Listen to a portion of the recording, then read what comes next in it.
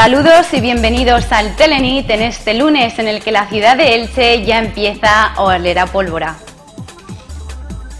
Con motivo del 40 aniversario de la gestora de festejos, se lanzó anoche una espectacular mascleta vertical compuesta por 700 kilos de pólvora y que congregó a más de 9.000 personas en las inmediaciones del estadio Martínez Valero.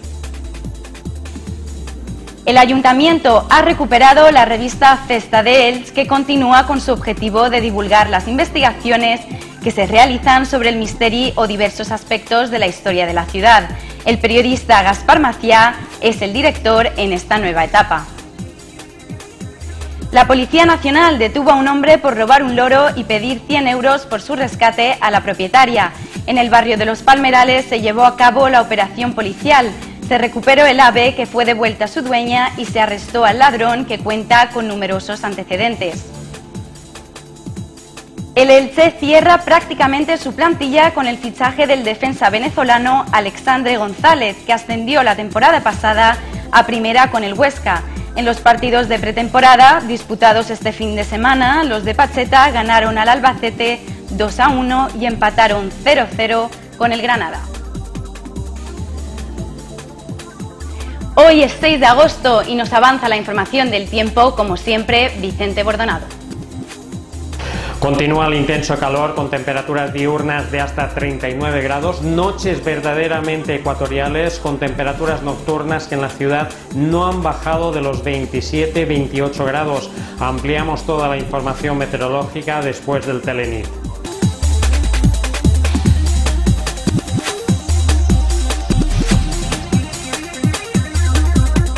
La ciudad ya huele a pólvora. Anoche se lanzó la primera mascleta vertical donde se quemaron en un espectáculo que fue muy aplaudido por el público más de 700 kilos de pólvora.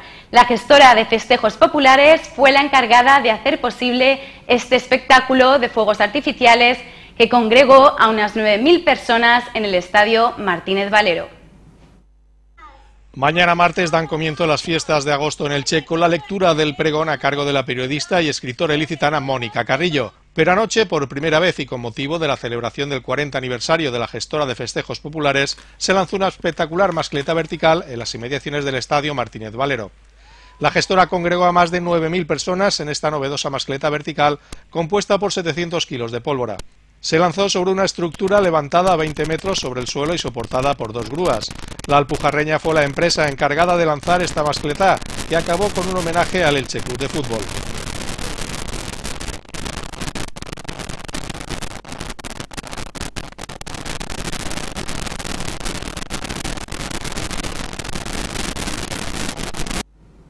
Y este año el Raco Fester estará abierto del 11 al 15 de agosto en el Paseo de la Estación, donde los asistentes podrán degustar tapas y bebidas en 24 puestos de comida.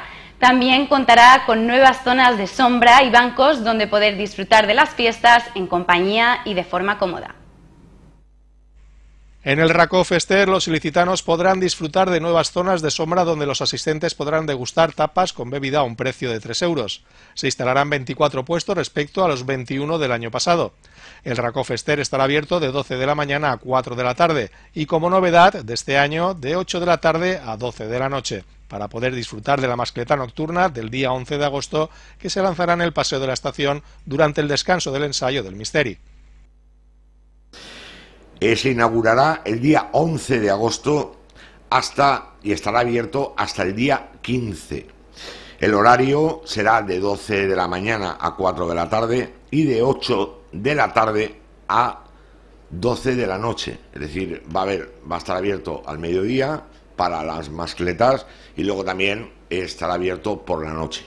Lo cual es una novedad. Estamos poco a poco implantando que el Racofester tenga una presencia casi constante en torno al final o de, mitad de fiestas hasta el final. Decir que otra de las novedades que presenta este año el Racofester es que va a tener unas zonas de sombra, unas zonas de sombra donde van a haber mesas, donde van a haber bancos, para que aquellas personas que estén, bueno, degustando las tapas, o estén comiendo, o tomándose cualquier bebida, puedan estar cómodamente a la sombra y además sentados. Por otra parte, el edil de fiestas ha recordado que la barraca indie estará en el colegio de Candalix el 11, 13 y 14 de agosto, donde se podrán disfrutar de diferentes actuaciones como las de We Are England, Poncini y David Van Bailen, entre otros. Y también como novedad en las fiestas de este año se va a abrir a partir del sábado una barraca municipal que estará libre de alcohol y que se ubicará en el Colegio Público Luis Cernuda.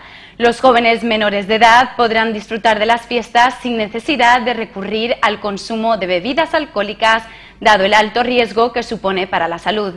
Esta iniciativa parte del área de juventud del ayuntamiento.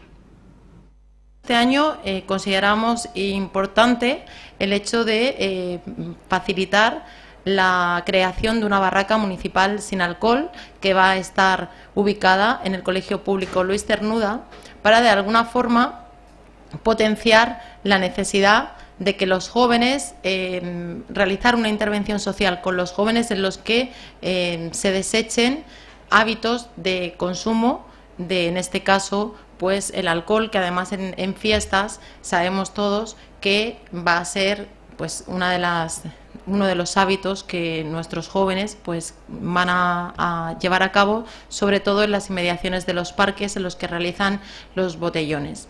También se ha creado una ruta del cóctel sin alcohol donde se podrán votar los mejores combinados en un concurso y un taller de coctelería sin alcohol que va dirigido a profesionales de la hostelería. Podemos ha denunciado la ausencia de mujeres artistas en los últimos cuatro años en la programación musical de la Barraca Municipal. Califican de discriminación sexista que solo se contrate a hombres Teresa Soriano, de Podemos, ha señalado que es un claro ejemplo de discriminación sexista que a la hora de contratar a artistas para las fiestas de Elche no se piense en la mitad de la población. Lamenta que desde el año 2015 no se haya contado con ninguna mujer para las fiestas más importantes del municipio. La concejal de Cultura, Patricia Macía, ha desmentido las críticas de Podemos. Ha señalado que sí que habrá presencia femenina en las fiestas de Elche con la actuación de la rapera ilicitana Akuna Tanaka. Será este viernes 10 de agosto en la Barraca Municipal. Ha recordado a Podemos que en la programación del escorchador suele haber más presencia de grupos femeninos que masculinos y ha señalado que se invitaron a dos mujeres, Ana Torroja y Rosario Flores, pero que por motivos de agenda no aceptaron actuar en Elche durante las fiestas. Las agendas de los artistas eh, también marcan a la hora de, elegir el cartel. Estuvimos pendientes de dos artistas eh, que al final pues no, nos dijeron que no podían venir, como era Rosario Flores o, Ana Torroja. Eh, al final también se marca la agenda de los propios artistas y, nosotros pues al final también lo importante es ofrecer un buen producto, ¿no? Y creo que el cartel de de la, de la barraca municipal este año es un cartel equilibrado, fuera de convencionalismos y creo que va, que va a gustar. ¿no? Eh, buscar donde no hay, pues al final eh, decirle a Podemos que, que bueno, que, que, me parece muy bien su, su interpretación y su, y su idea de, de, la barraca, pero al final esto tiene que también ver un poco en conjunto todo. ¿no? Y sí que va a haber presencia femenina. 25 puntos de venta han sido autorizados este año para vender pólvora durante las fiestas de agosto. Hoy hemos estado en Piroelch, una de las tiendas de pirotecnia de la ciudad que lleva 10 años con su actividad y que a diferencia de las casetas, este local abre durante todo el año. Este año Piroelch cumple 10 años en estas instalaciones y lo celebra por todo lo alto con una gran variedad de artículos y lotes para todos los públicos, desde lotes de color y de ruido hasta lotes con fuentes, petardos u otros productos para los más atrevidos. Además, como viene siendo habitual, Piroelch hace un regalo a sus clientes a través de seis sorteos diferentes lanzados por Facebook. Los próximos serán para el día 8, 11, 12 y 13 de agosto. Todos los años, eh, bueno, ya es tradición, ¿no? Piroelch, eh, digamos, hace, o sea, participa ¿no? con sus clientes con alguna promoción, regalos, siempre hay algo, ¿no? Sabe quién, el que es cliente de Piroelch, sabe que cada vez que viene a una tienda de las nuestras sale con algo más allá de lo que haya comprado. Y este año queríamos hacer algo diferente, ¿no? Siempre hemos sorteado eh, otro tipo de regalos y este año a través de las redes sociales, a través de Facebook, vamos a realizar seis sorteos de lotes de productos valorados en más de 150 euros. Y bueno, esta vez digo que es algo diferente porque bueno, mm, puede participar cualquier persona de Elche. Y bueno, con esto lo que, lo que queremos es eso, que pueda participar todo el mundo, que se pueda acercar a nuestras tiendas o no y lo vamos a hacer para que bueno para que conozcan también todas nuestras nuestras tiendas eh, repartiendo digamos cada, cada uno de los lotes en una de las de las tiendas en esta tienda ya se empieza a notar más afluencia de público y según Paco Marcos, gerente de Piroelch, ahora reciben sobre todo a niños en busca de pequeñas bombitas y señala que aunque siempre recomiendan venir días antes para evitar las aglomeraciones, la tradición es dejarlo todo para los dos últimos días. Además, con motivo de los 40 años de la gestora, este año tienen a la venta un cohete ofrenda disponible. La idea es que se lancen todos al mismo tiempo en la NID del Alba entre las 11 y las 11 y cuarto de la noche. En colaboración con la gestora de festejos vamos a, vamos a tener una sorpresa. Una sorpresa al cual, pues no sé, queremos transmitirlo a todo el pueblo de Elche. Quisiéramos que la gente lo entendiera. Esto va a ser, digamos, una colaboración. Va a ser un cohete ofrenda un cohete ofrenda, esto ha sido idea de la gestora y nosotros vamos, digamos, a venderlo, a venderlo a todo el público que quiera venir, a recogerlo. Estará disponible en todas las tiendas de Piroelch y bueno, pues eh, está a la venta ya. Todo esto, la idea es, bueno, pues de darle como siempre más color, más, más brillo a esa noche. Esa noche, si consiguiéramos que toda la gente tirara este cohete, no sé, la idea sería todos a la vez. Eso es imposible debido a la cantidad de gente que hay, debido a, bueno, es, mm, sería imposible sincronizar todo. Pero sí que va a ser entre 11, 11 y cuarto donde mm, la gente debería lanzar este, este cohete ofrenda. Piroels tiene seis puntos de venta repartidos en el municipio y su personal recuerda que antes de lanzar cualquier artículo hay que leer las instrucciones y recomiendan sobre todo en relación a los petardos no coger ninguno con la mano, no introducirlos en botellas y tampoco intentar encender otra vez los petardos fallidos.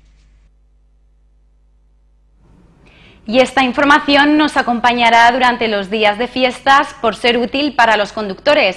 Mañana martes comenzarán los cortes de las calles al tráfico. Con motivo del inicio de las fiestas con la lectura del pregón, la plaza de Baix y la corredora se cerrarán a partir de las 6 de la tarde y a las 7 se cortará en el tramo de Reina Victoria con Jorge Juan.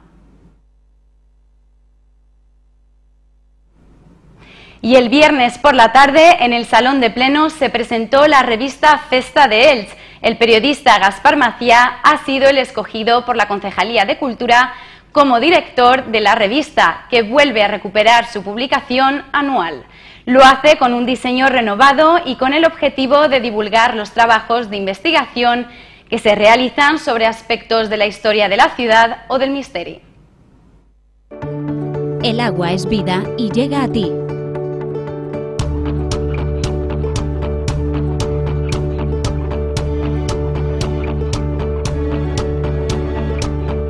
Dels patrocina esta noticia. En 1942 salió el primer número de la revista Festa de con el fin de divulgar artículos de investigación sobre diversos aspectos del drama sacrolírico o de la historia de la ciudad. Desde entonces no ha podido mantenerse su publicación anual. Algunos años ha estado sin ver la luz y ahora, desde 2014, que salió el último número, ha vuelto a recuperarse bajo la dirección del periodista Gaspar Macía, que ve en esta revista una oportunidad para divulgar las tesis doctorales y los trabajos de los investigadores locales. Eh, no sé por qué se dejó de publicar, eh, en el 2014 fue el número anterior eh, ha habido, la verdad es que ha habido durante la historia de la revista, ha habido épocas en que se dejó de publicar, se recuperó. Lo importante es ver si ahora, procurar que ahora ya se mantenga esa, cita anual, porque la verdad es que nos faltan medios para publicar, que los investigadores locales eh, publiquen, excepto la Reya no hay ninguna otra publicación, bueno, la Reya y Festades, claro, no hay más mm, vehículos para publicar los trabajos de investigación de, que se están realizando en Elche, las tesis doctorales, que hasta que no se publican en su momento, si se llegan a publicar, eh, quedan ahí en los cajones, ¿no? En este número, el 59, se han recogido 16 artículos, como la intoxicación del benzol en 1959 de Juan Martínez Leal o la festa en la prensa nacional 1897-1947 de Daniel González. Yo he analizado todos los semanarios y diarios eh, que se han publicado en Madrid, Cataluña, también Valencia y Murcia y me, he centrado en extraer esa información para publicarlo en la revista. No he tratado ningún artículo que tenga que ver con la prensa local, puesto que ya se han tratado eh, en otras investigaciones y por eso la importancia de este, de este artículo y también destacar, como no, lo que decía el director, que se han publicado, se han eh, publicado seis artículos que tienen que ver con tesis doctorales que se han defendido en los últimos cinco o seis años. Su portada es una imagen de la mascarilla de la Virgen de la Ceramista Sol Pérez. El agua es vida y llega a ti.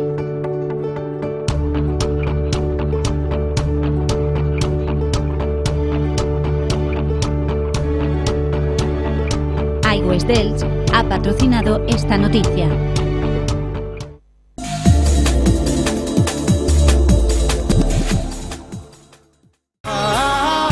Totem, el nuevo espectáculo de Cirque du estará en Alicante durante cuatro únicas semanas. Disfruta de un viaje fascinante y acrobático. Del 20 de julio al 19 de agosto, bajo su gran carpa blanca. Tu mejor plan para este verano. Compra tus entradas en cirquedusoleil.com.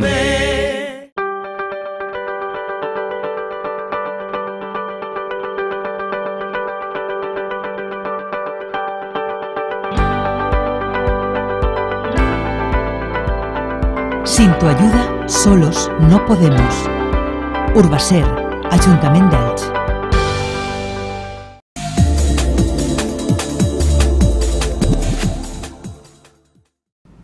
Y lo que son las cosas, porque la Policía Nacional ha detenido a un hombre de 43 años por robar un loro de una vivienda para luego pedir un rescate por él a su propietaria.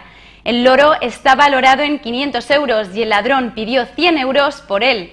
La policía pudo rescatarlo y entregárselo a su dueña. La operación del rescate se llevó a cabo en el barrio de Los Palmerales y bajo la vigilancia de la policía, que identificó inmediatamente al delincuente al estar fichado debido a sus numerosos antecedentes. El concejal de promoción económica, Héctor Díez, ha valorado de forma positiva el nuevo proyecto de peatonalización del centro y considera que ahora queda concretarlo y programar las actuaciones urbanísticas. Ha explicado que deberán priorizar las obras y que en líneas generales la respuesta de todos, comerciantes, vecinos, placeros y grupos políticos, ha sido positiva. El edil ha insistido que hay actuaciones que no se han vinculado al futuro del mercado, como la adecuación de las calles Alfonso XII o Virgen de la Cabeza, que podrían comenzar este año. Estas dos calles necesitarán reformas, ya que asumirán el desvío del bus tras la peatonalización del centro. Si tenemos que esperar a, la peatonalización de la corredora, no tendremos listo el resto para poder acometer esa peatonalización. Estamos hablando de esas calles que hay que tocar o hay que remodelar para que pueda ser posible el desvío del transporte público con el planteamiento que ha hecho ahora la empresa. Estamos hablando de Alfonso XII o de Virgen de la Cabeza. Yo creo que pasada este mes de agosto empezaremos a hablar de cuándo es posible acometer esas mejoras en esas calles para que estén listas para el día que se pueda peatonizar la corredora. También ha señalado que se pueden encargar ya los estudios para construir dos aparcamientos en rotación en el solar de Candalix y en la zona del Corazón de Jesús. La segunda quincena del mes de agosto es un momento en el que muchos negocios cierran por vacaciones, pero la ciudad sigue recibiendo turistas. Para evitar que la ciudad quede desierta, el ayuntamiento sigue con su campaña de Elche abierto por vacaciones. Casi 250 comercios y locales de hostelería se han sumado a esta iniciativa, más que el pasado año. Además, se han programado actuaciones en el centro, barrios y pedanías. El ayuntamiento ha editado una guía con los 244 comercios y establecimientos hoteleros de la ciudad que permanecerán abiertos durante la segunda quincena de agosto. En ella los usuarios pueden encontrarse también una gran oferta de ocio en todas las pedanías, la oferta cultural de los diferentes museos y el programa de actividades en los espacios públicos. En la guía también aparecen las actuaciones de jazz y soul que se celebrarán el 21, 23, 28 y 30 de agosto a las 9 de la noche en la Glorieta y en el Paseo de las Seres de Santa Yusia. Por ello volvemos a editar la guía Elche abierto por vacaciones. En esta ocasión 244 establecimientos que se han sumado a esta guía, que son muchísimos más que los del año pasado, que fueron alrededor de 172, y que vuelven a poner de manifiesto que Elche está abierto, que Elche tiene mucho que ofrecer en esa segunda quincena de agosto y que son muchos los comercios, los establecimientos de hostelería o hoteleros que siguen abiertos en esa segunda quincena. Por tanto, reeditamos esta guía en la que además de indicar aquellos establecimientos que siguen abiertos, también ponemos eh, una programación para esa segunda quincena, especialmente en la zona centro, pero también en los barrios y pedanías. También a partir del 16 de agosto a las 10 de la noche se realizarán las proyecciones nocturnas del Cinema al Carrer, una iniciativa que se trasladará por diferentes barrios y pedanías y que estará hasta el 2 de septiembre. Ilicitanos por Elche insta al tripartito a que lleve a cabo una revisión del mobiliario de las salas de estudio de la ciudad y las pedanías para renovar el que esté en mal estado. El concejal Fernando Durá ha señalado que los usuarios de las salas de estudio se quejan por el deterioro, sobre todo de las sillas. Ha concretado que los usuarios de la sala de estudios del barrio del Toscar tienen que llevar cojines de sus casas para colocarlos en las sillas por estar muy desgastadas. El sábado se conmemoró los 121 años del hallazgo de la Dama de Elche. Por la mañana se llevó a cabo el acto conmemorativo con una visita al lugar donde fue descubierta en el yacimiento de la Alcudia. Allí el alcalde dijo que ve más cerca el regreso de la Dama Elche. Por la tarde-noche del sábado, la Real Orden de la Dama celebró su acto institucional en la Plaza de Santa María. El alcalde en su discurso resaltó la importancia de la Dama para la ciudad afirmó que no renunciarán a que regrese y que no hay razón ni técnica ni política que impida que la dama esté aquí, en el Palacio de Altamira, en la Torre del Homenaje. Explicó que están preparando el Palacio de Altamira para acogerla, para crear un contexto documental, arqueológico y social que permita no solo contemplar a la dama, sino aproximarse a su historia. El objetivo es obtener en 2019 sucesión temporal.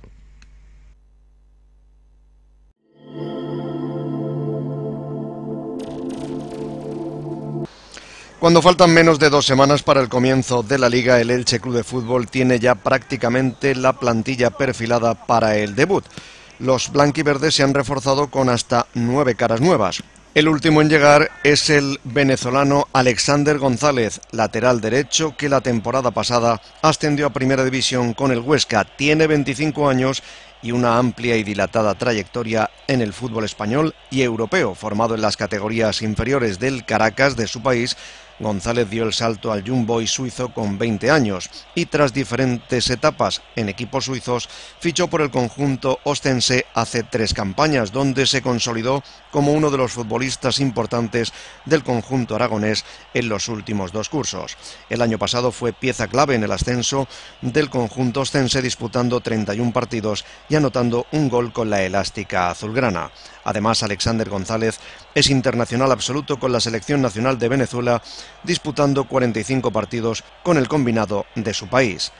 Los refuerzos han sido un portero Unai Simón, dos defensas Juan Cruz y el referido Alexander, cuatro centrocampistas Gonzalo Villar, Chuca, Xavi Torres y Nando Quesada, aunque este último se marchara cedido, un extremo Borja Martínez y un delantero Claudio Medina. Tenemos, eh, me gusta tener dos alternativas en cada sitio y si puede haber una tercera porque sea un jugador que se pueda adaptar a las posiciones, pues mejor. A partir de ahí es el tipo de jugador que hemos traído. Chuca nos puede jugar dentro, nos puede jugar fuera. Gonzalo es verdad que es más para jugar por dentro. Borja es un extremo específico. Eh, Alex nos puede jugar de lateral y de interior. Puede hacer las dos cosas. Juan Cruz puede jugar de central y viene de jugar casi todo de lateral. Entonces, vamos firmando jugadores que aunque sean, creo que mejor en una posición que en otras, pero que nos puedan dar a veces alternativas. Y eso genera, pues eso, muchísimo más competitividad en todas las posiciones. Y, esto es lo que vamos buscando. Yo estoy, vuelvo a repetir, creo que tenemos el equipo muy bien organizado, bien ordenado y tenemos que estar pendientes del límite salarial, donde nos lleva, pues donde estamos. No creo que se, creo que estaremos ahí, ajustados, creo que estamos bien. Creo que, y vuelvo a repetir, los jugadores que tengo, estoy muy eh, satisfecho de lo que me están dando, del jugador que estamos trayendo y cómo se están adaptando al grupo. Ahora estamos bien. Con Alex yo estoy bien, estoy bien. Tengo dos por puesto ya, incluso tres. Yo estoy bien. Estoy bien. Los de Pacheta tuvieron un fin de semana muy ajetreado y activo. El sábado jugaron en San Pedro del Pinatar, partido frente al Albacete, donde los blanquiverdes lograron la primera victoria ante un segunda A. El equipo de Pacheta fue de menos a más. Benja desde el punto de penalti y Gonzalo Villar anotaron los goles franjiverdes. Se pudo ver un once muy reconocible que se parecerá al del principio de la liga. Mientras ayer los ilicitanos jugaron en Campo Amor frente al Granada, equipo que se mantiene imbatido e invicto. Un resultado que deja claramente que es un partido de pretemporada muy táctico y donde ninguno de los dos equipos dejó entrever sus cartas para el partido inaugural. Yo estoy contento de, ya hablando de este partido anterior, de estos dos partidos, estoy contento de las sensaciones que tenemos. El resultado no es algo que me preocupe, nos pasa de todo, pero bueno. Eh, no es un, uno de los detalles que me preocupe, el, el ganar o perder, pero sí las sensaciones que tenemos y me gusta lo que veo. Creo que tenemos muchas cosas positivas para valorar, muchas cosas positivas para crecer en ellas. Tenemos que ajustar algunas, pero me gusta lo que veo, muchas cosas con balón. Creo que somos dominadores del partido a través del balón, lo cual no es fácil. Y eso nos hace un equipo con confianza. Luego a la hora de la presión estamos ajustando bien, cada vez mejor. Le quitamos el balón al rival, tenemos el balón más tiempo que ellos, o por lo menos con más sensaciones y sí que es verdad que igual tenemos que ser un poco más verticales en algún momento, pero estoy muy, muy, muy contento de lo que estoy viendo. Muy contento de... Somos capaces de competir, seguimos compitiendo en la línea del año pasado, seguimos siendo un equipo que corre, con ganas de correr, con ganas de querer hacer las cosas bien y con un número de jugadores que quieren jugar y con muchas alternativas. Yo estoy satisfecho de lo que, de lo que veo, de lo que tengo y de lo que vamos a, a conseguir. La plantilla ha tenido hoy una jornada de recuperación y convivencia en el complejo hostelero La Fuente Baños de Fortuna y mañana los de Pacheta volverán a los entrenamientos al filo de las 7.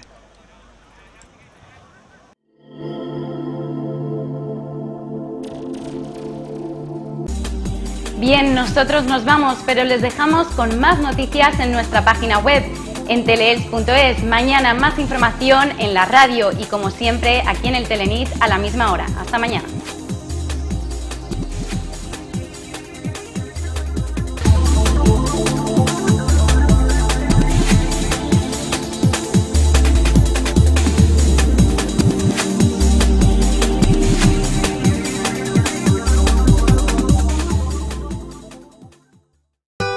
Quiérete más con Vivanta. Hasta un 20% de descuento en tratamientos estéticos corporales. Vivanta Medicina Estética. Prepárate para quererte más.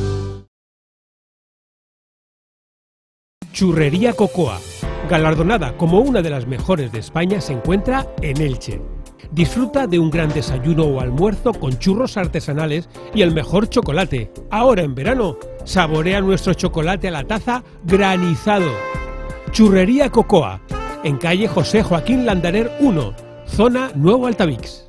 Vacaciones, fines de semana, escapadas de ensueño. En la Marina Resort, más servicios, más diversión para que disfrutes de tu tiempo de ocio. Salas de masaje, centros de spa y gimnasio, totalmente equipados para cuidar de tu cuerpo y mente. Bungalows con todo lo necesario para sentirte como en casa. Quédate en la Marina Resort y pasa momentos irrepetibles durante todo el año. La Marina Resort, junto a la playa de la Marina, a 5 minutos de Elche.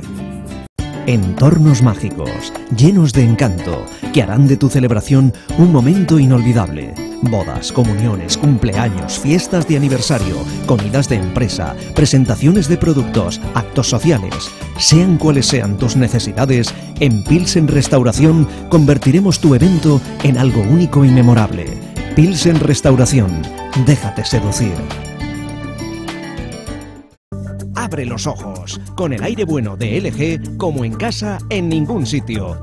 Y todo consumiendo lo mínimo.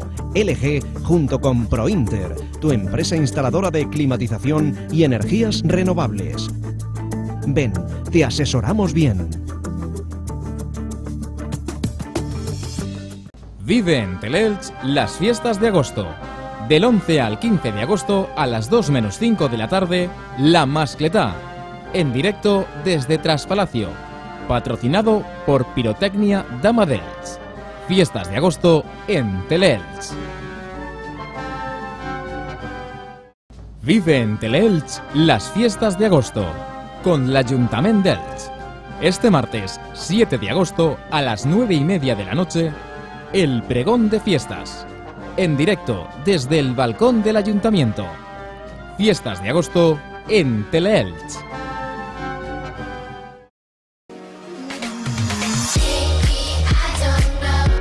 Para tu viaje más importante solo necesitas un coche. La vida cambia, tipo también. Y ahora llévate tu tipo 5 puertas desde 9.800 euros con 4 años de garantía. A los italianos nos gusta dejar huella y como este mundial no vamos a poder, te hacemos hasta un 40% de descuento en la gama Fiat. Esquella Automóviles. En Elche, calle Sor José Falcorta 37. Y en Orihuela, carretera Murcia-Alicante, kilómetro 27.